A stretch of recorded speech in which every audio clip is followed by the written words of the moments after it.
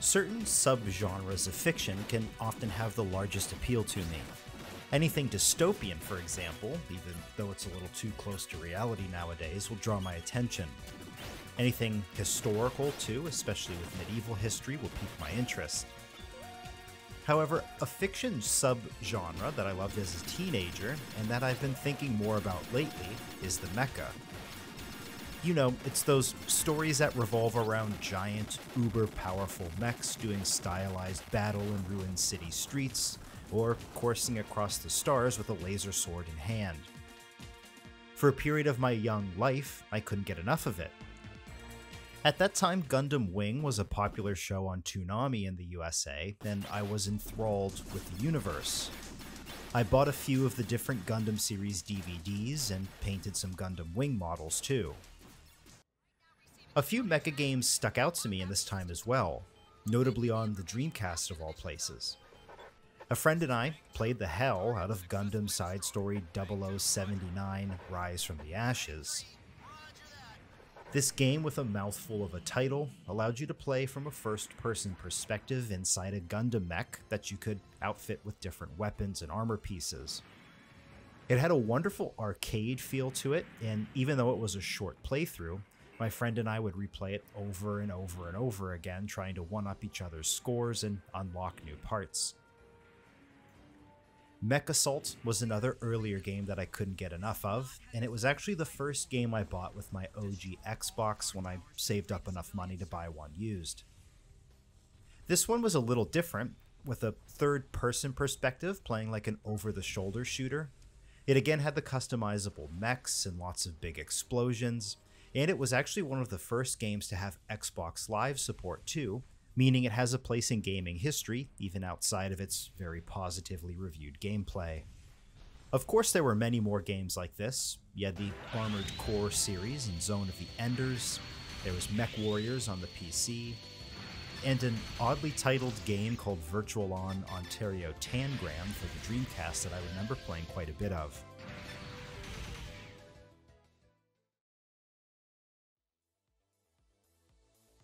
There is, however, another long running series of mech video games that first appeared on the Super Famicom, though my own experience with the series wouldn't be until many years later, and that's the Front Mission series.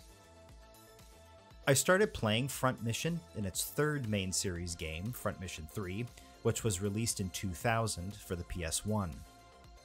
This is actually the first chance we Americans got to play a Front Mission game, as it was the first of the series released outside of Japan.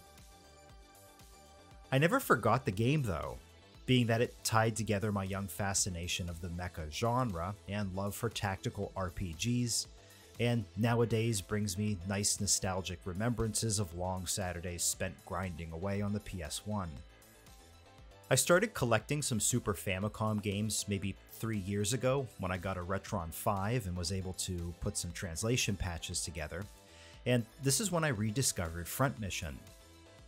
The series began on the Super Famicom, and because of the wonderful development of these translation patches, these Super Famicom Front Mission games can be thoroughly enjoyed by an American audience. Front Mission on the Super Famicom was a game I just really couldn't put down. It completely captured my attention. And then when I started to research the game specifically, I started to find out about its really rich backstory and long development cycle with a lot of interesting people involved.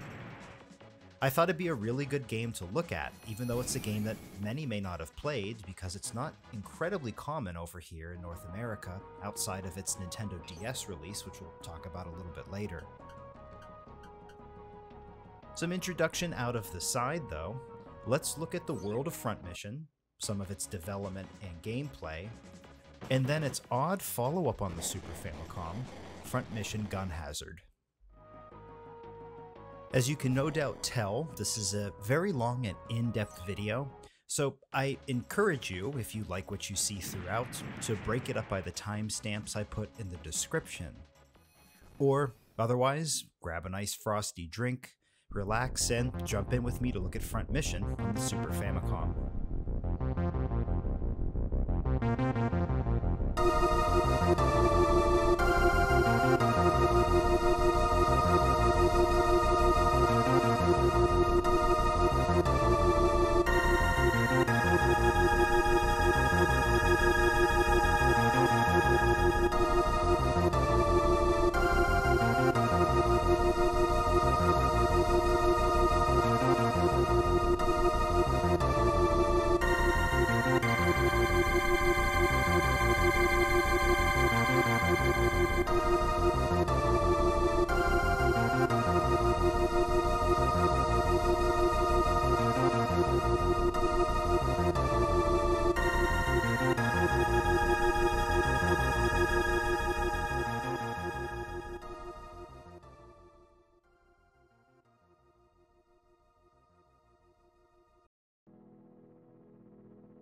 Being that the Front Mission universe has grown to be pretty large and span decades of releases, we should start by looking through some of the recurring story and gameplay elements that make it up. It is important to note, though, that there are many offshoots or alternative timeline games in the series, so what we'll look at now fits mostly with the numbered Front Mission games, but still also the universe as a whole, for the most part at least. The games are set in a real, yet fictionalized future world, with the series beginning in the year 2090. When creating the game, the real world was used as an inspiration, but Front Mission was not meant to shine light on or comment on current events. It simply grew as a piece of speculative fiction about what the world, and as an extension of this, war and geopolitics, might be like 100 years on from when the game was being developed. In this world, most countries have unified, forming massive blocks that contain many individual countries within them. These often conflicting entities form much of the good guy bad guy friction as they engage in wars and subterfuge. A few of the main ones that recur often are the Oceania Cooperative Union, the OCU, which contains countries from Southeast Asia, Oceania, and Australia, the United States of the New Continent, the USN, which is North and South America together, and the European Community, which brings together the European countries and closely resembles the real world European Union. In Front Mission 1, the OCU and the USN are the two main factions. Throughout all of the games, players pilot mechs called Wanzers, which has a distinctive German sound to it and is indeed derived from the German word Wanderpanzer, which means walking tank. Wanzers are meant to be extensions of the human pilot and reflect on the skills of the people who use them. The developers wanted the machinery and weapons to be plausible, and for human skill to define how effective the weapons are. A developer for Front Mission 1 had this to say about the world. He said, For me, it's more that I enjoy imagining what our near future might look like. Robotics, like everything else, will eventually be used for weapons and armaments, so we tried to portray that in a plausible way. And thus, as with any weapon, humans will use them, and the abilities of the individual humans will determine how effective the weapons are. From a design or artistic perspective, one thing that's visible in all of the games is a focus on gritty realism. The Wanzers are utilitarian and simple, colored with greens, grays, blacks, and browns, rather than being the ornate, color rich killing machines you might find in Gundam. Video footage from the Vietnam War and motifs from blockbuster sci fi movies like Alien were used to create some of the imagery and coloration of the game, and to inject the series with realism and believability. The characters reflect this as well, falling into a familiar trope of being somewhat normal people thrust into extreme situations. Front Mission games will generally feature a pretty diverse and international cast of characters and paramilitary soldiers that are forced to bear witness to the brutal machinations of history happening all around them. The games usually have story elements that revolve around a small personal band of characters that are fighting against overwhelming odds. Bringing a few of these pieces together, everything from the detailed customization of the games to the deep and story rich world and gritty realism, makes Front Mission appeal to what the developers called a more hardcore gamer. Because of this, the games often have more mature subject matter, higher learning curve, and slower pacing than traditional Square games. And all of this also led neatly to the games playing out as tactical RPGs instead of a more action oriented RPG style of other Square games at the time. Much of the background of the world that the games inhabit was built as part of the development for Front Mission 1 and expanded over the years of sequels. In researching the first Front Mission game, I quickly realized that everything the developers wanted to achieve came out of a desire to create a compelling human drama with realistic characters inhabiting an interesting and symbolic world. The art style, gameplay, dialogue, and characters themselves all build towards these goals. The passion for the project is evident too from all those involved, with every aspect of the game having a purpose and foundational idea behind it. Front Mission 1 began as an idea pitch from Square from a small development company called Gcraft. Because the game was, throughout the initial planning documents and original ideas, meant to be a hardcore game, Gcraft did not think that Square would approve, but to their amazement, it ended up going pretty well. Producer, creator, and head writer Toshiro Tsuchida commented on the initial pitch of the idea for Front Mission, saying, I had a planning document I'd made for a game called 100 Mission, and through the introduction of a third party, I was able to show it to Square. That was the start. The plans weren't very appealing, though, and it had honestly been rough going. Sorry, no robots. I kept being told that. It was right after the bubble had broken, so everything was kind of slumped and frozen. We're sorry, but game development can no longer afford to be driven by the creator's passions alone. That was something I heard a lot. It was difficult to say, on paper, how far we could take this idea for a robot game.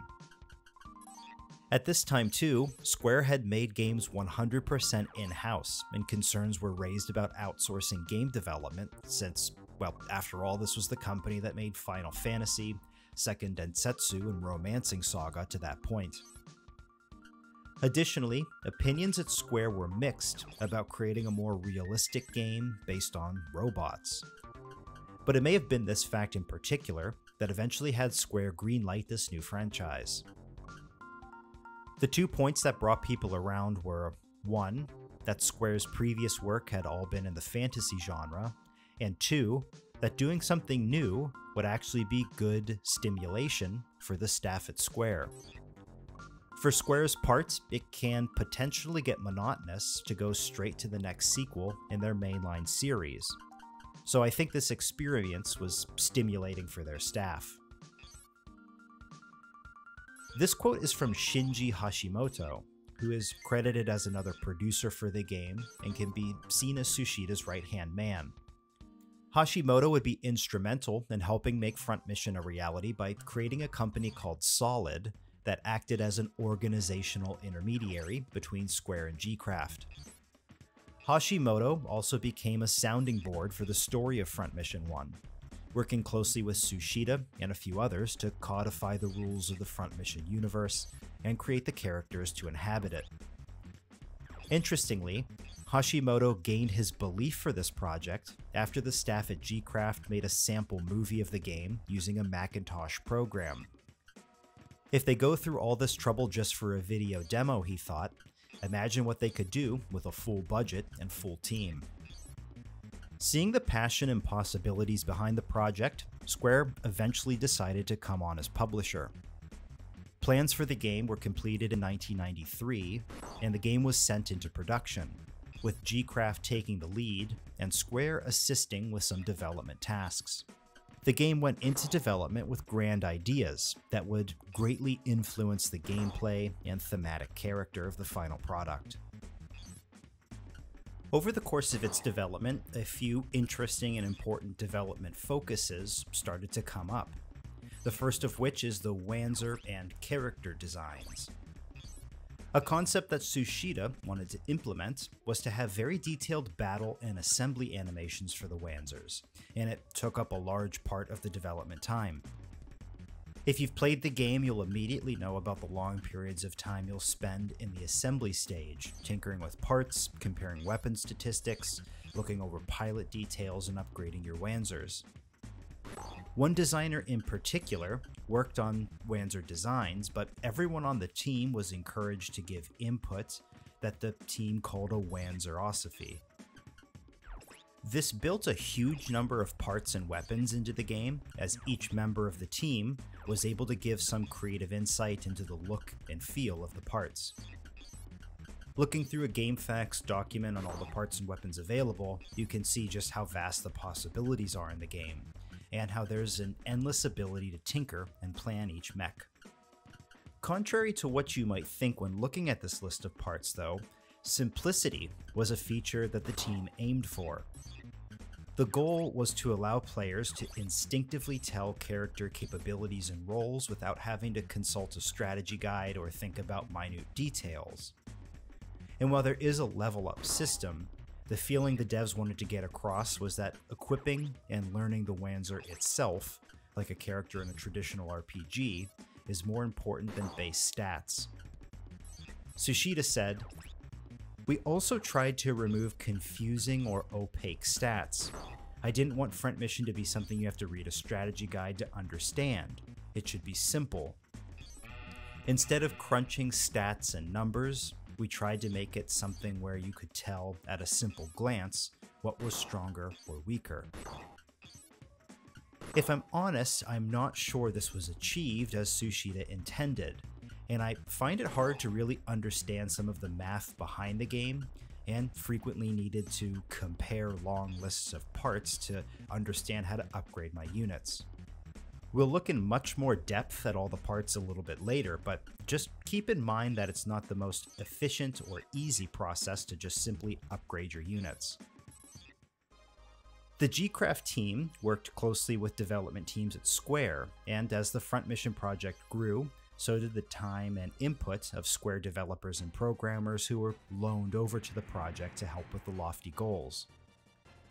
Even still, the visual presentation of the final product fell a little short of the standards Tsuchida had, which he partially blamed on the Super Famicom hardware limitations and on the time the team had to split between near obsessively tweaking the gameplay. The amount of programming data in Front Mission was indeed huge. There were so many dialogue and character options that bugs were still being fixed less than a month before the deadline, with one programmer in particular saying he was really worried about how the final project would turn out. The font and dialogue boxes had to be hand programmed because of the large amounts of text that would appear on screen. 300 people eventually playtested the game, with interest given to main characters Sakata, Driscoll, and Hands. Surprising to the producer duo of Hashimoto and Tsuchida, women playtesters loved the game even though it was pretty dense on the war imagery and gritty realism. Hashimoto also made sure to note that the playtesters who worked on Chrono Trigger gave the game nice praise and a few good pieces of positive feedback. An early prototype ROM of the game was then sent out to journalists, but was simplified and tuned after with some additional feedback. One thing that definitely stands out in Front Mission is the artistic style of the box art and characters. Yoshitaka Amano designed the character portraits and helped create the overall art style for the game. If that name looks familiar, it's because Amano was instrumental in creating the style and conceptual design that gave early Final Fantasy games their distinctive feel. Amano began his career working as a freelance illustrator for sci fi and fantasy novels, and was hired by Square in 1987 on the basis of his work. He would work on a long list of games, providing artistic direction, illustrations, character portraits, and working on the manuals and box art. Even though he stepped down as the lead character designer and artist in 1994, he still provided Square with materials in a freelance capacity. These materials included the character artwork, box and title designs that are seen in Front Mission and Front Mission Gun Hazard. Amano did up to 40 character illustrations, allowing the developers to choose who best represented the image they had for each main character in the game.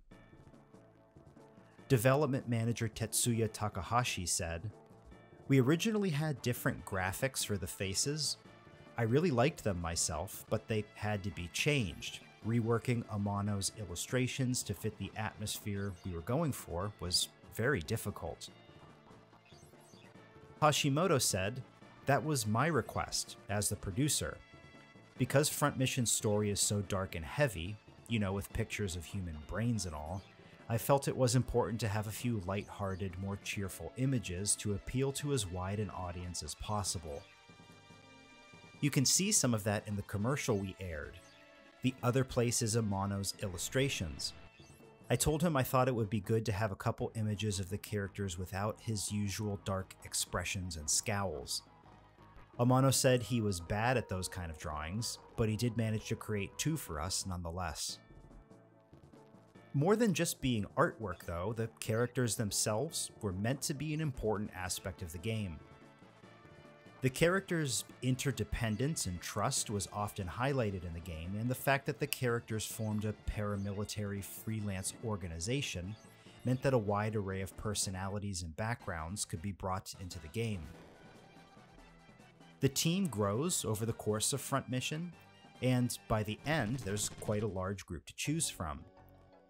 Characters were nonetheless meant to have natural personalities, and lots of thought was put into making them have realistic choices based on these personalities.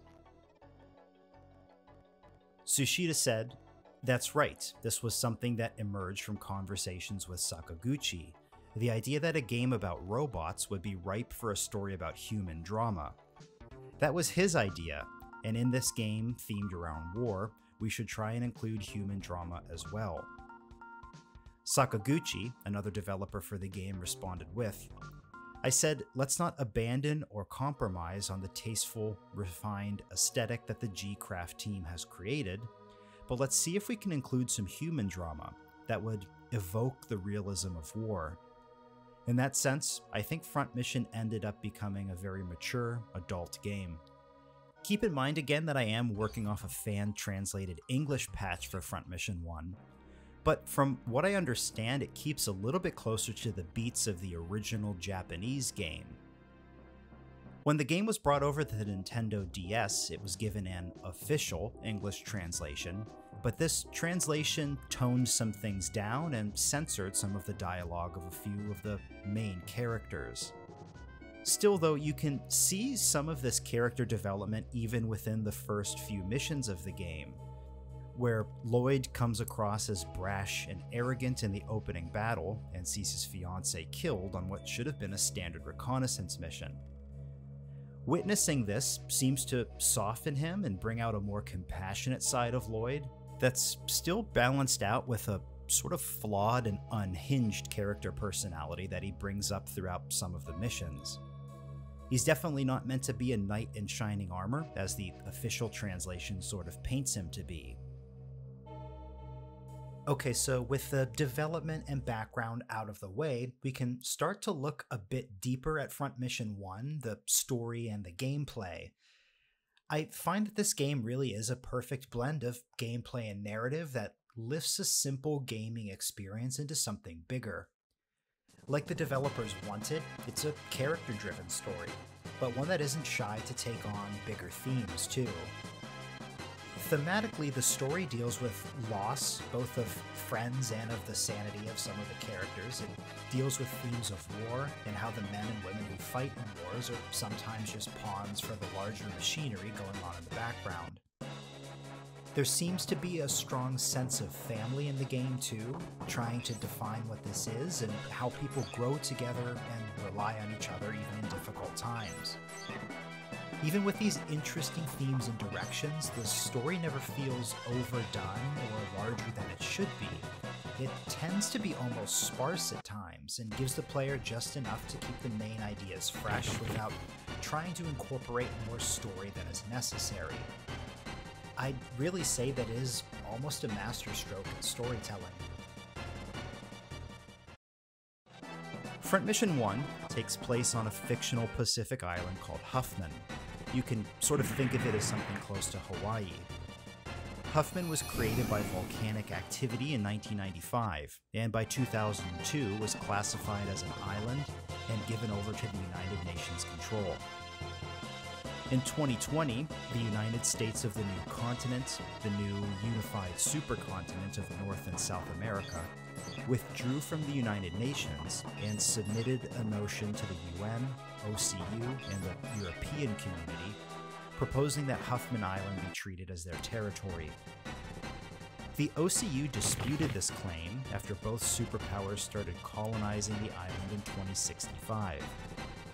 Tensions on the island grew over the subsequent five years, leading to the first Huffman conflict in 2070, which was concluded when both sides agreed to split the island in two.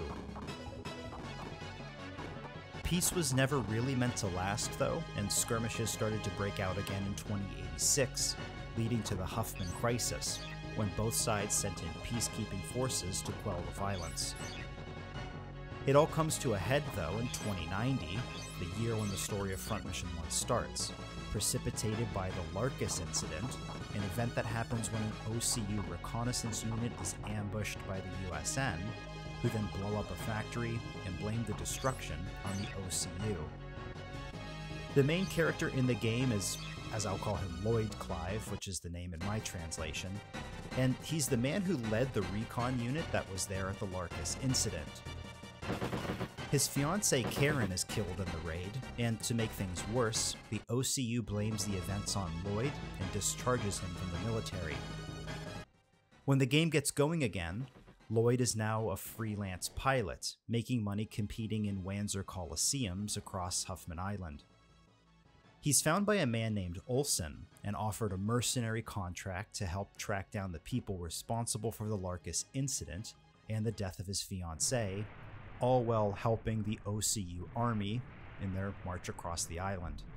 From the beginning, you're also joined by Ryuji Sakata, who was with you in the original prologue mission and becomes a very important character in the game, and Natalie, a female Wanzer pilot whose father you later learn is a general.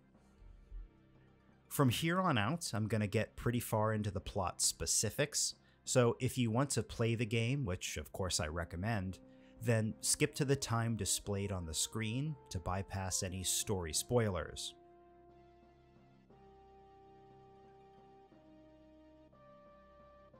Okay, so after the Larkus incident, Lloyd goes on to join the Carrion Crows mercenary outfit, led by Olson, which becomes tangled up in the war in Huffman. After a few missions for Olson, Lloyd is told to stay put in the city of Milligan and await further orders. However, a Coliseum fighter named Yang finds Lloyd in the city and tells him that she saw his fiancee in the hospital just two months prior. She tells Lloyd that if he can beat her in a match, she'll spill the beans, and eventually lets him know the location of the hospital. When the Carrion Crows make it there, Driscoll, the main enemy from the game's prologue, is evacuating the hospital and thwarts Lloyd's efforts to find Karen. Over the next batch of missions, you slowly move further into USN territory and liberate their cities in support of the main army. As you do this, the background of a few characters begins to unravel. Yang, a character who believes she lost her brother in the war, finds him and brings him back to safety, mirroring the larger story of Lloyd and Karen. You meet a character named Maury, who's defending her bombed out town and joins the Carrion Crows because she blames Lloyd for the war and wants to watch him die. Bobby and Purunga are fighting in the streets, and after you break it up, they say how they were just sparring and ask to join your team.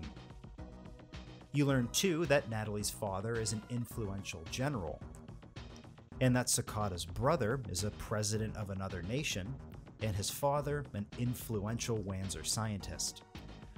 About three quarters of the way through the game, after defending Sakata's father from Gents and a group of terrorists, the war comes to an end, bringing what is ostensibly the main plot point of the game to a close.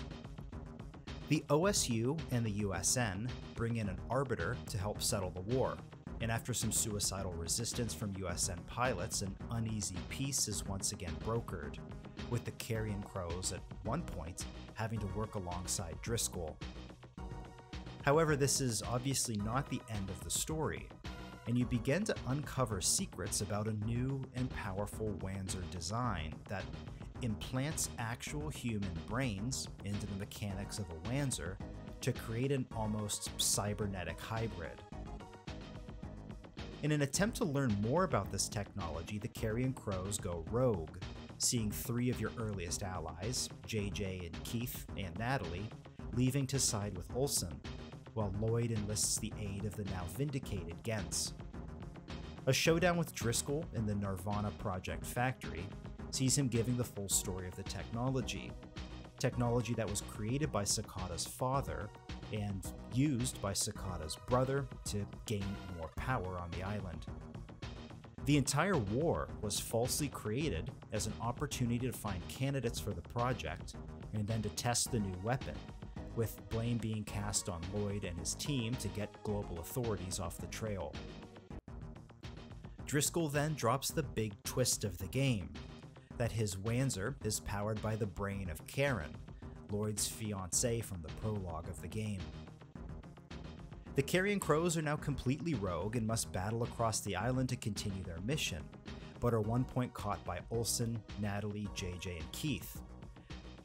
The latter three, in the end, choose to back up Lloyd. Natalie lets him know that she knew the whole story from the start and was placed in the Carrion Crows to keep an eye on Lloyd and Sakata.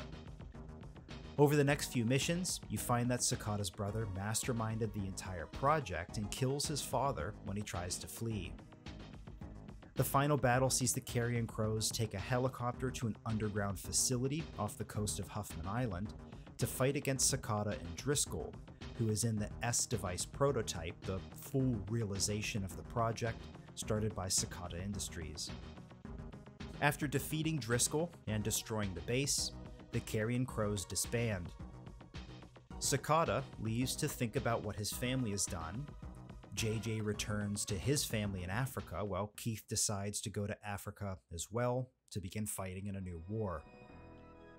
Natalie goes to find her father and help him rebuild his reputation, while Gentz returns to his plans to help rebuild Huffman Island, and he asks Lloyd to join him.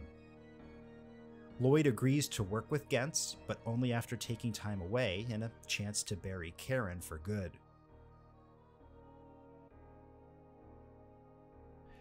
The final cinematic montage of the game is really impactful, and the final lines, written by Frederick, who's one of the playable characters, really ties up the main theme of the game too a theme that the bigger powers of the world can play their games with the individual soldiers being almost expendable resources used to cover up their schemes. It's a pretty cynical closing, if I must say, but brings a surprise level of closure to the story.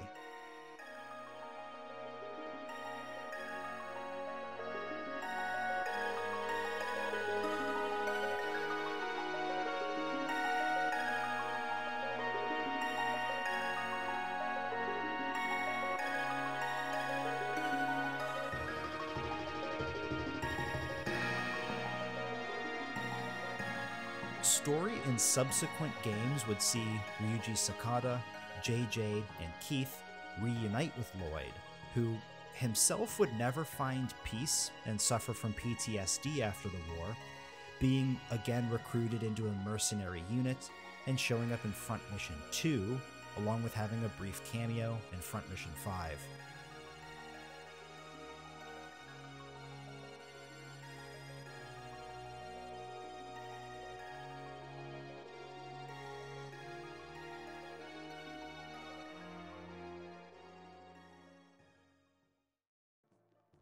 So far, we've gone over the world of Front Mission, some of the background and development, along with the story and brief mention of the characters.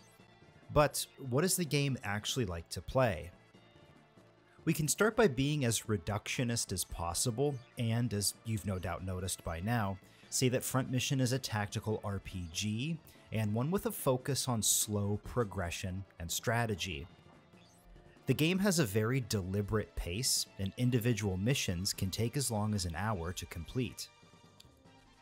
The slow pace, though, means that tactical decisions based on whatever the mission tends to be asking for are really important, as are choosing your movements carefully and using weapons in a logical way. The slow pace extends to between missions too, though, where even something as simple as outfitting your mechs takes quite a bit of time. What happens around the mission as the story begins to build and take shape does a great job of pulling you into the game world. Front Mission has a very quick start to it. It begins with some exposition, bringing you up to where the story begins, and then throws you right into the prologue mission. Once this prologue mission is complete, you start to gain access to the various cities around the island of Huffman. Each city has a shop to buy new parts and weapons, a bar to talk to other characters and find leads on pilots to recruit to your team, a coliseum to try out mech configurations, win money, and slowly grind XP, and an office where Lloyd's team finds their missions. These in between sequences of the game make the world feel a lot more like a living and breathing place, though, and the character art of Amano gives each character you meet an independent feel. The bar is a nice place to visit. The various people you meet will cue you into small details of the world and the larger political happenings on the island of Huffman. This was always meant to be a character driven game, and as a result, there are a ton of characters to unlock and add to your team. According to an FAQ I read, there are a total of 17, some of which are not unlocked through normal progression and have to be tracked down. In my playthrough, I only got 15 characters, so I missed out on two. Main characters join at various times, and a few have larger parts to play in the overall story. Some characters will leave your unit for a little while too, for any number of reasons, but return later. There is, however, not permadeath, and characters that get knocked out in battle won't be gone forever, but instead just require a repair fee that eats into your profits so there is still reason to not be totally reckless with your mechs. However, you do get an instant game over if the main character is killed in battle. As I mentioned briefly before, even through this translation patch, the characters seem fleshed out and have their own personalities. Lloyd, haunted by the death of his fiancée and the war that he thinks he caused, goes from being a harsh disciplinarian in the opening prologue to a much more rounded and forgiving character after, if not one who's a bit mentally disturbed and haunted by his failures. Natalie struggles with her duties and ties to the military, ultimately choosing friendship over loyalty to a bad cause. Characters like JJ and Keith bring a bit of levity and humor to the game, while Hans fills the role of the computer genius hacker type. Watching the arc of the various characters transpire was something I was not totally prepared for, but really quite enjoyed. Outfitting and tinkering with mechs ends up being one of the bigger parts of the game, and well, it kind of wears out its welcome as you get further along. Like I mentioned in the section on the development of the game, members of the team were encouraged to give feedback and designs to the main developer in charge of creating the weapons and parts in the game, and it seems like it just ended up as overload. There are so many parts and weapons in the game, and each new city will have four or five new body arm leg combos and up to 10 weapons. Generally, I would buy the most expensive stuff I could for parts, and really only stray if certain stats of certain pieces fit better with a fighter or a long range unit, as an example. It can really make your head spin trying to figure it all out, though. It's a lot of number crunching and comparing, and it's necessary to make upgrades after almost every single stage. Managing weight is always a concern, especially in the early game before backpacks become available, but there's an abundance of weapons with very incremental stat changes between them. To explain the weapons in the game, it's good to start with an overview of how weapons can be equipped, which is either on the shoulders or in the hands. The shoulder units are missile launchers and shields. A character's stat in long affects how well the character will do with launchers, and skill and agility will make blocking with shields or guarding more effective. Launchers have a long range, as you'd expect, anywhere from 2 to 4 squares out from your unit to much further. This makes launchers great for chipping away at enemies as they come into range or as you move forward to attack. Launchers became so effective that I would end up equipping one on any unit I could as long as it fit. The only drawback to launchers is that they run out of bullets, but there's usually enough to make it through a mission without having to refit in the middle of it. As the long stat for each of your characters grows, too, you eventually learn a guide skill that lets you choose a part to target and makes character with the long skill even more powerful. In my playthrough, I made the main character Lloyd a long specialist, and he could effectively kill anything in one turn with his launchers by specifically targeting the body. I read from some others who played the game that the short skill is the most effective in the later part of the game, but I really found the long stat to be the most powerful throughout the whole game pretty much. Short weapons are things like rifles or shotguns, which are single shot but really powerful, or machine guns that fire multiple bullets but at a much lower damage ratio. I should say too that each weapon in the game has a hit characteristic. The higher this hit characteristic, the more likely it will hit the enemy you're aiming at. The skills you get throughout the game make the short weapons even more effective though. One of the skills gives you the ability to target a specific part, which lets you chip away either with the rifle or machine gun. Another skill allows you to switch out weapons to fire from both arms, switching from your left arm to your right arm within one turn. Natalie is one of the first characters to join the Carrion Crows and became one of my most destructive when she learned her skills to target the body and then switch from her machine gun to rifle in the same turn. I'd say, in general, though, that machine guns are best for peppering an enemy and trying to reduce the HP of multiple parts, instead of giving the all or nothing attack of a rifle or a shotgun. The last stat, Fight, ended up being one of my favorite in the game, and is used for characters who use mechs in hand to hand combat. You can equip them with batons or fight stick sort of things, but arm parts themselves have a base damage that quickly outperforms handheld weapons. One of my favorite characters in the game is Yang, a powerful fight character, and after she learned the skill to attack with both fists, one right after the other in a single turn, she made up the core of the squad I would take into every battle and murdered enemy Wanzers like clockwork. As I started to get further into the game, the sheer amount of combinations and units started to really confuse me, so I color coded each unit based on what I intended to use them for.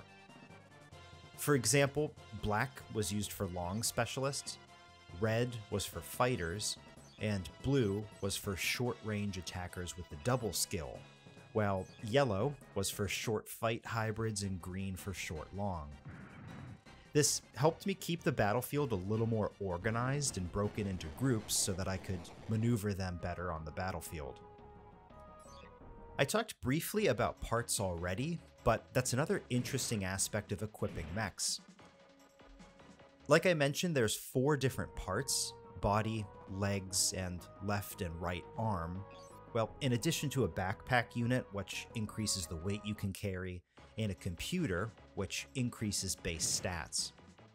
But neither of these really have that much bearing in an actual battle.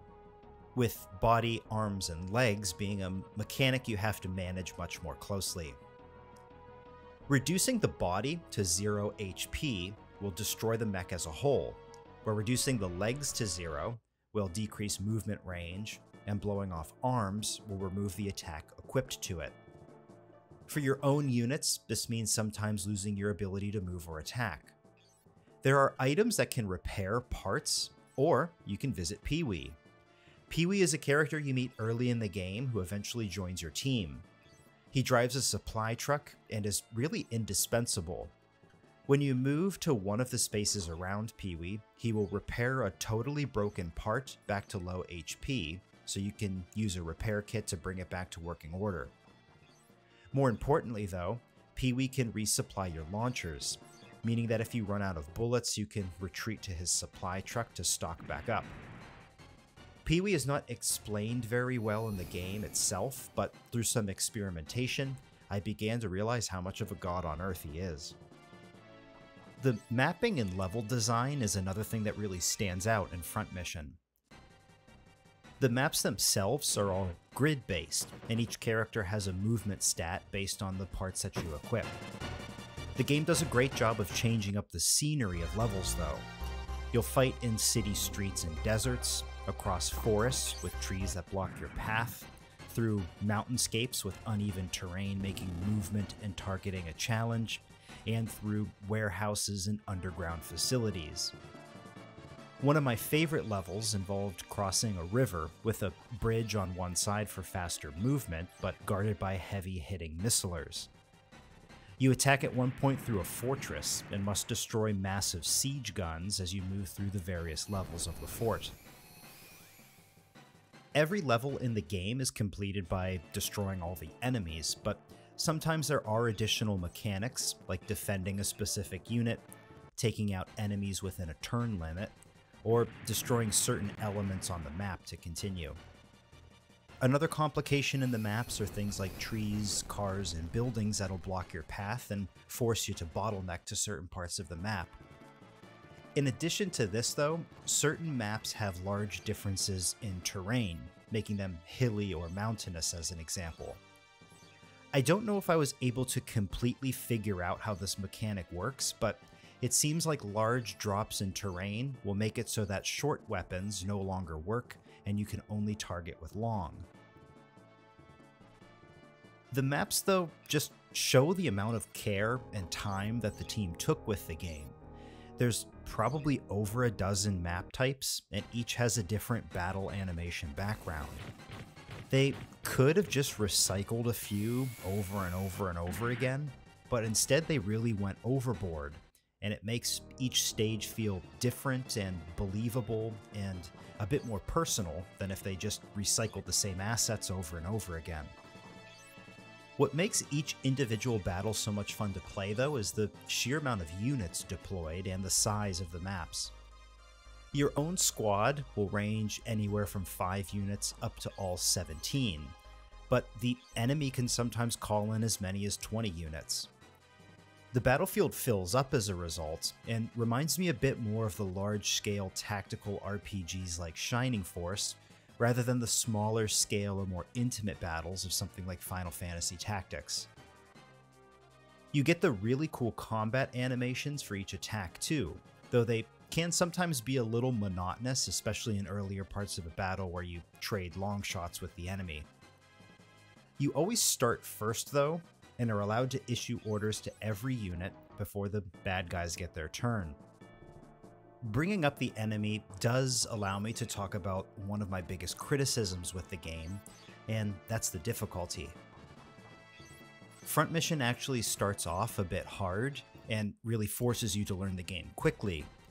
But after a few missions and upgrades, it starts to get really, really easy, and I found it possible to beat most levels without losing a unit.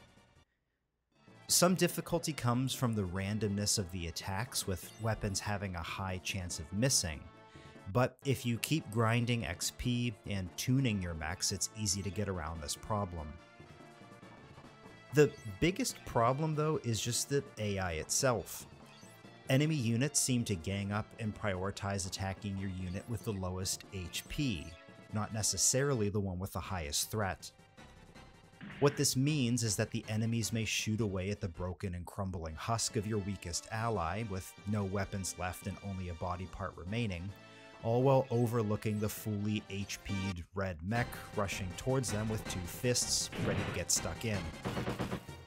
Additionally, they tend to run away pretty regularly to rebuild their mechs at mobile bases, giving an opportunity to chip away with launchers from a distance. The AI in the game is just unfortunately pretty dumb. It never attacks in swarms or focuses attacks effectively, meaning most of the units can be eaten away at one by one with minimal effort.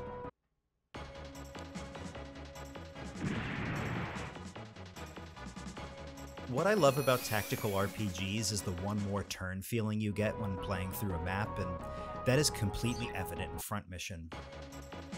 Front Mission may have a slower pace and lots of stat comparison and some wonky AI, but I still absolutely loved playing the game, and may honestly go so far as to say it's a top 10 game for the Super Nintendo for me.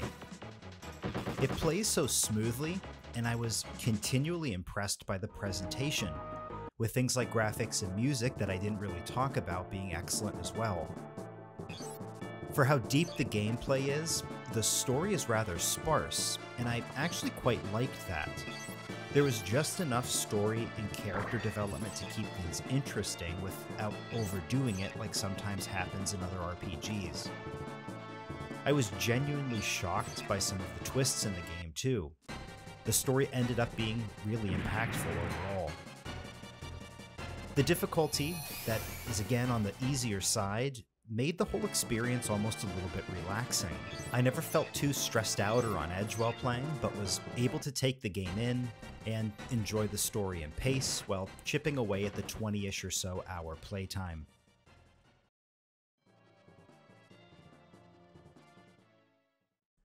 Front Mission would get two different ports that would expand the game significantly. The first ports would actually show up on the Japanese WonderSwan Color in 2002, and it was pretty much the same as the Super Famicom game except on a handheld. The big 2003 port to the PS1, called Front Mission First, is where the game would start to see some major revisions. This port updated the graphics and animations, bringing it closer to the look that Tsuchida originally wanted, but was unable to implement on the Super Famicom hardware. It also added a new scenario to play through, through the eyes of the USN, who were the antagonists in the original release. Apart from the new missions, the USN scenario is considered to be a difficulty upgrade over the original game. Additionally, two characters that would later be seen in Front Mission 4 were added to the game. The PS1 port served as the basis for the Nintendo DS version, which is the first time the game was available outside of Japan and features an official English translation. The DS version makes use of the dual screen setup for ease in gameplay and allows the game to be sped up. New characters from other Front Mission games were added into this version as well, along with new weapons, parts, Wanzers, and nine secret missions that expanded the original storyline. For a long time, the Nintendo DS version was the easiest way to play the game in North America, but that changed in 2022 with the release of Front Mission First Remake, which is an HD remaster of the game with improved controls and some added modern touches. It seems that this remake got kind of average reviews, and it might be better to just play the original if you're able to get a ROM version with the translation patch. Immediately after Front Mission 1, Tsuchida and G-Craft began work on Front Mission 2, while Gun Hazard, a game we'll look at in a separate video, was being created. For Front Mission 2, Tsuchida would return as director for the game, and it would be produced at the same time as Front Mission Alternative, which was another spin off game like Gun Hazard and features real time strategy gameplay, not the turn based tactical RPG style of the numbered Front Mission games. During production of Front Mission 2, Tsuchida was approached by Square, who offered to buy out and incorporate G-Craft into Square itself. The deal took place during development, and G-Craft was renamed Square Development Division 6. Front Mission 2 was the last game produced under the G-Craft name, but it was a massive success in Japan, selling over 500,000 copies and receiving a gold prize from Sony in May of 1998. Apparently, a reason it was never released outside of Japan is due to certain storylines and word choices that the producers feared would be considered vulgar or taboo in North America. Tsuchida would stay on as director and writer for Front Mission 2, 3, and 4 before giving up director duties for Front Mission 5 and acting just as a producer. Our friend Hashimoto would work as producer for many Front Mission games as well, Front Mission 5, Scars of War, released in Japan only in 2005, was the last numbered game released in the series. The stories of each Front Mission game were meant to be serialized and standalone to a point, but Front Mission 5 brought them all together and served as a final tie up for all the loose ends and inconsistencies that came up from the previous games. The commercial and critical flop Left Alive, released in 2019, was actually set in the Front Mission universe, unfortunately, but Other than that, the last Front Mission game to see a North American release was the online multiplayer third person Front Mission Evolved, released to the Xbox 360 in 2010.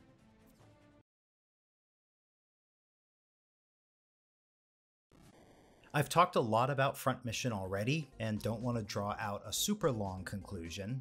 I will say though, keep your eyes open for the Front Mission Gun Hazard video, which I'll be releasing soon and will be a shorter addendum to this longer one. I will say that as a writer, if that's something I can consider myself, sometimes the introduction and conclusion are the hardest things to write. The conclusion especially, how do you bookend and pull together the ideas that you at least attempted to present in a meaningful way? Even now, I'm rewriting this about a year after writing the script and re recording chunks of the video. This was a hard one for me to get off the ground. I think a reason for this, though, is I fear I won't do this game justice. A video could be made entirely about the story, a story that feels deep and personal without ever being melodramatic. It's a story that's at times sparse, but also gives the detail to make it emotional and make me feel a deep connection with the characters and the world. And it lines up perfectly too with gameplay that is deep, enjoyable, pretty to look at, and a joy to listen to. Front Mission 1 is one of those examples in gaming where all the parts fit together so perfectly and so expertly that it elevates this little hobby of ours to something larger than just what fits on a game cartridge. As I mentioned before, to me this is an absolute must play for the Super Nintendo, and I absolutely recommend you give it a try. Thanks so much for taking the time to watch this video today. I really appreciate it, especially if you stuck through to the end of it and heard my little conclusion. Keep your eyes open for the next video in this small series. Otherwise, I hope to see you back here again soon. Take care.